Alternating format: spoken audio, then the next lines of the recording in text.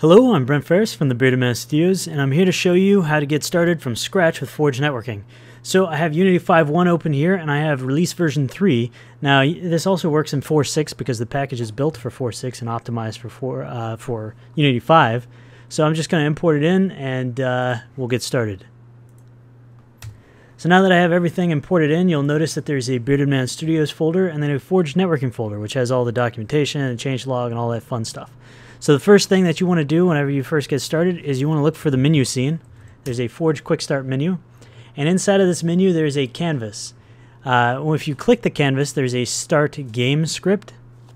And in here, you'll find that uh, we have a host, a port, a protocol, and all these other things. So you want to start from the Forge Quick Start menu because it's actually what creates a socket uh, for the host and the client and does all the connection and prepares you to play. You can't just make a, a scene without being able to start up that first. So, of course, you can make your own start menu or menu script. This is just a uh, this is just an introduction one. So, uh, what we want to do is we want to mainly look at the host here. You want to make sure that says 127.0.0.1 for this. That's your local host, and whenever we do some video tutorials on how networking works for everybody who hasn't networked before, we'll discuss what that is. Uh, we're going to be using port number 15937.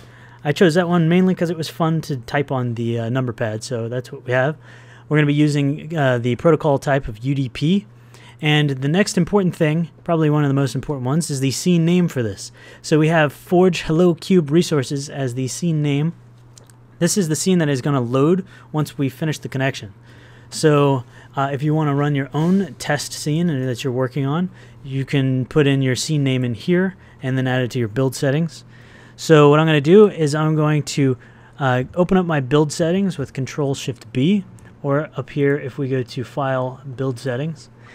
Now, uh, now that I have this open, I'm going to go to the player settings. I'm going to make sure that run in background is on. You want to make sure this is on because uh, we're going to be running multiple instances on the same machine. And if we click away from instances, we don't want them to disable and stop sending messages because run in background is not on. So we want to make sure that's checked. And then we want to add these two scenes uh, into our build settings. So we want to add our quick start menu first. And second, we want to add in our resources scene, which is the Forge Hello Cube resources. And here's the path if you want to check that. So now that we have the Hello Cube resources and everything else set up, we're going to go to build and run. And I'm just going to build it out and run this instance.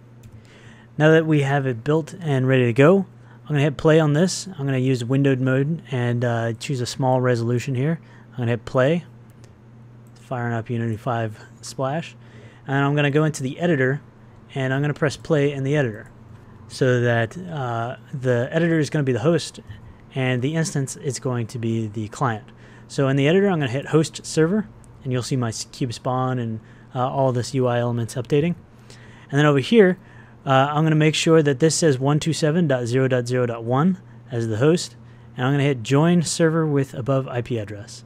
When I select that, you'll see it come in on the other scene. You'll notice that the update for the time is at one second intervals. This is not because the network is, is slow, it is because we actually clamp it to one second. If you go into the networking manager here, you'll notice that the update time interval is set to one, and that's in seconds. So it's only going to update uh, every second.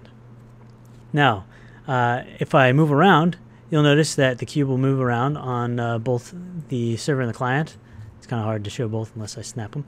So now that we have uh, everything running, uh, this shows that our messages are working. We have a server and a client connecting, and that is basically how you can get started uh, with absolutely no code. Um, so please leave your feedback and your comments and let us know if you need any help or if we forgot to explain anything. Uh, until next time, I'll see you later.